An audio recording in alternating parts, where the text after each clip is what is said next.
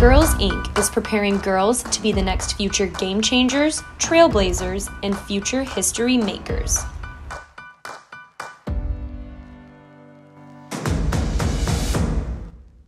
175 years ago, game changing suffragettes like Susan B. Anthony, Elizabeth Cady Stanton, Ida B. Wells, and Sojourner Truth began the fight for women's right to vote. 41 years later, in 2022, trailblazer Ketanji Brown Jackson became the first black woman to be a justice on the Supreme Court. Right now, Girls Inc. is uplifting the next female president through advocacy, public speaking, and confidence building curriculum.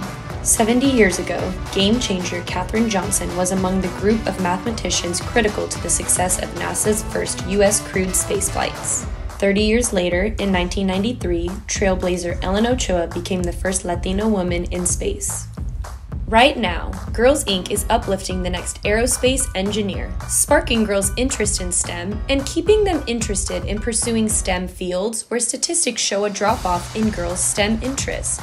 Girls Inc. of Orange County is making strides every day to ensure we see powerful girls in an equitable society.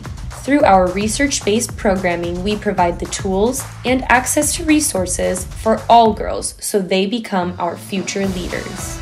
The time is now to build up girls who will be game changers, making the impossible possible. The time is now to build up girls who will be trailblazers, laying the foundation for dreams to come true. The time is now to build up girls who will be our future history makers, becoming the next US president, Nobel Prize winner, or CEO. The time is now.